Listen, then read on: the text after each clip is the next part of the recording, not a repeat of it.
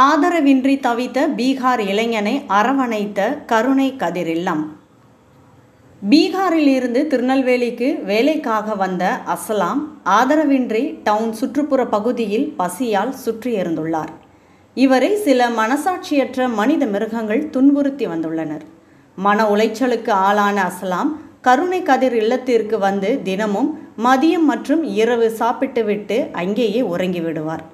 நேற்று கருணை கதிர் ட்ரஸ்ட் நண்பர்கள் அசலாம்க்கு முடிவெட்டி சவரன் செய்து அழகு செய்தபோது அசலாம் சொன்னது என்னவென்றால் விரட்டி அடிக்கும் இந்த சமூகத்தில் என்னையும் சக மனிதனாக உங்களில் ஒருவனாக சேர்த்ததற்கு மிக்க மகிழ்ச்சி என இரு கை கோர்த்து ஆனந்த கண்ணீர் விட்டு நன்றி கூறியுள்ளார்.